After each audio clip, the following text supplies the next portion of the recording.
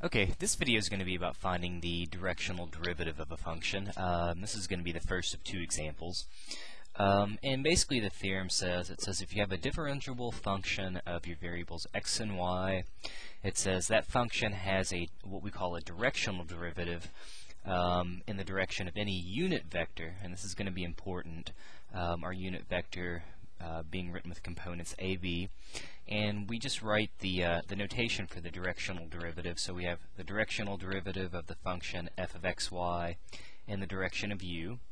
It says what we do is we take the partial derivative of x, um, evaluate it at our point, um, multiply that by um, the component a, do the same thing, take the partial with respect to y, evaluate it, multiply it by the component b.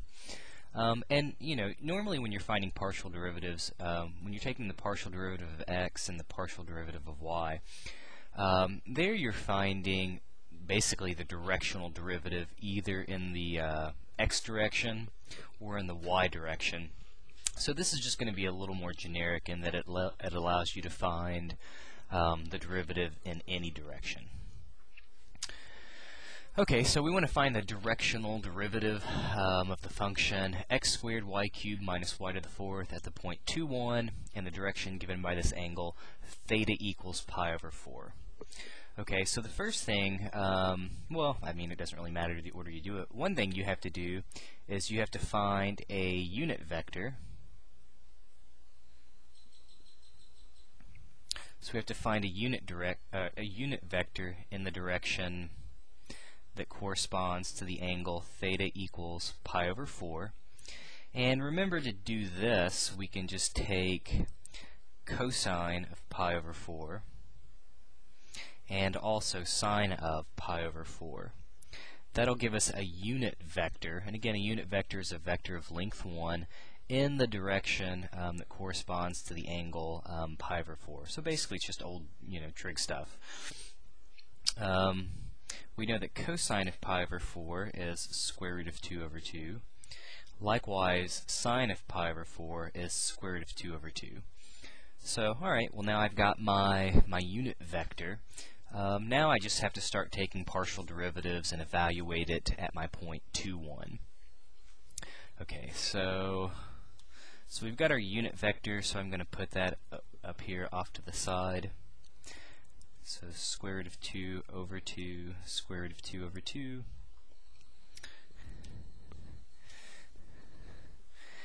And according to the formula, it says the directional derivative of the function xy. Again, it says we take the partial derivative with respect to x.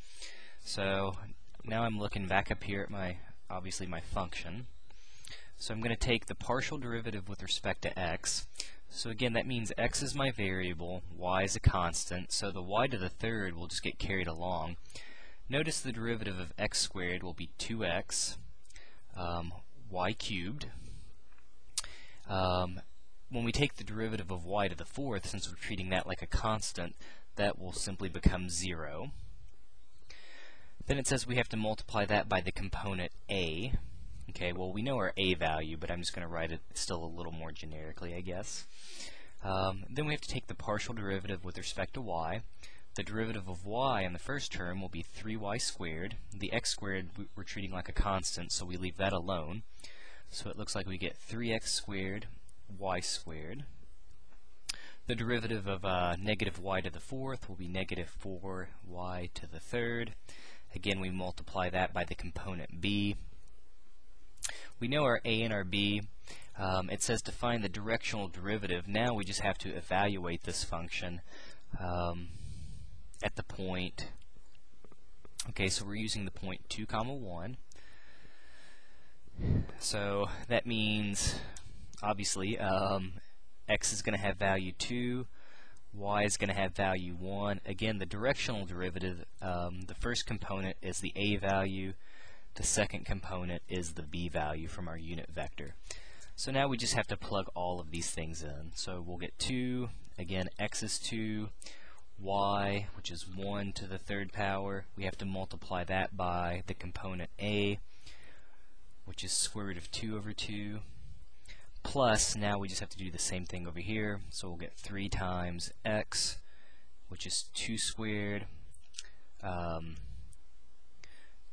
okay, plug in y, we simply get 1 squared minus 4 times 1 cubed.